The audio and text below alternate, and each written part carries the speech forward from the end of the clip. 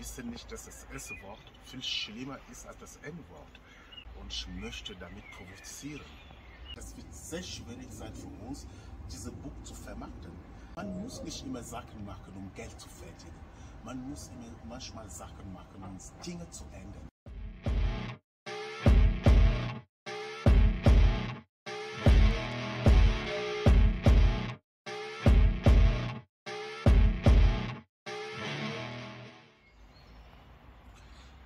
Der Titel Lieber Neger als Schwarze ist zwar sehr provokant und ich möchte damit provozieren, weil das N-Wort wird verboten, aber das S-Wort sollte auch.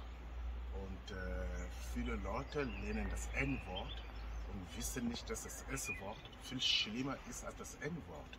Und deswegen habe ich so einen Titel ausgewählt, um absichtlich zu provozieren. Aber die Provokation soll, da, ähm, soll dazu führen, dass die Leute nachdenken, dass die Leute die Frage stellen.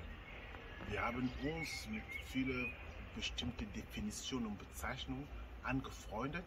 Andere Bezeichnungen haben wir abgelehnt, wie es uns passt, wie den Menschen passt.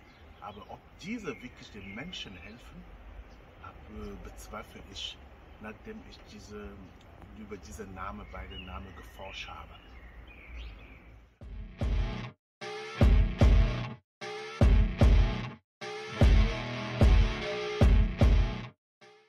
Ob dieser Titel uns helfen wird, mir helfen wird, das Buch besser zu verkaufen, ich weiß es nicht.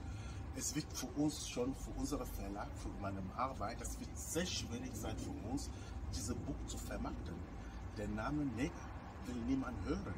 Alle Medien, alle Social Medien, YouTube, Facebook, Instagram, ich, ich gehe davon aus, nur durch diesen Namen werden sie unsere Beiträge und unsere Werbung stoppen. Ich weiß es nicht. Auch viele Menschen werden, werden sehr negativ reagieren. Nicht nur schwarz oder weiß, ich glaube, viele Menschen werden negativ reagieren. Erstmal, ohne erstmal den Inhalt zu wissen, werden sie einfach eine, eine, eine Ablehnung, eine Ablehnung äh, äh, Mentalität äh, entwickeln.